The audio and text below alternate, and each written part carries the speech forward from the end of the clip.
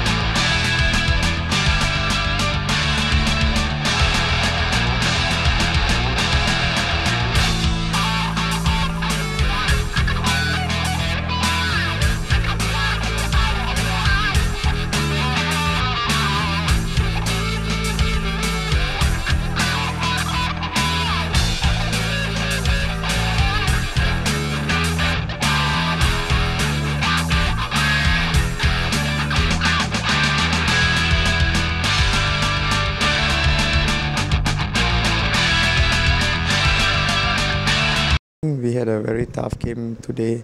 Uh, you can see the boys uh, struggled a bit in the first half because uh, ATM is a very good team.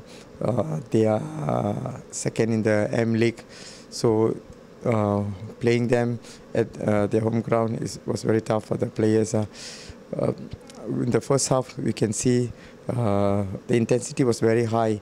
Then the players couldn't cope up to the intensity. Then came in second half. I mean, uh, we step up our game a bit. In the second half, it was a much much better game. We played uh, much better football. We had created some chances. Uh, in the first half, we were just uh, having possession, but we're not going forward.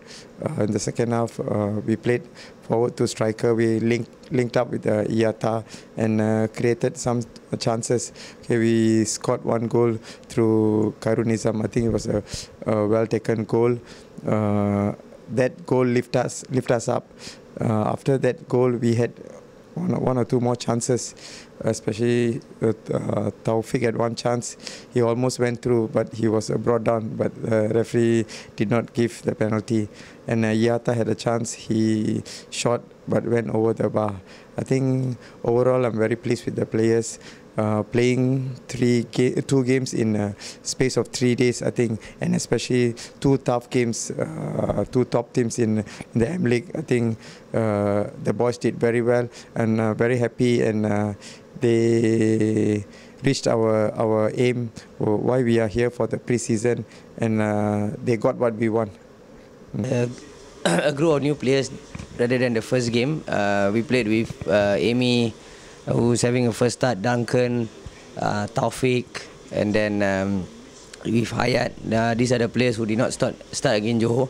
Uh, they started slow in the first half. Uh, we conceded two goals, uh, but uh, in the second half, I thought uh, they responded well and uh, they did well in the second half by getting one goal back through Nizam and then uh, there's more attacking play and a lot of more positive attitude that we see in the Johor game that they brought into the second half game. ah.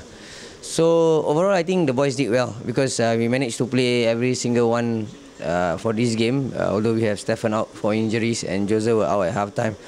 So with the rest of the players, uh, at least we managed to to see uh, most of the players in action. And uh, I think playing against ATM, uh, who played their first team today uh, with Marlon James, Hairuddin Omar, Syukur Adna- Adan, it's a good test for our boys. So uh, overall, I think the boys did well, and uh, I think. Uh, two games, I think it has been a good preparation for us. So hopefully, uh, we try to get a win against Selangor.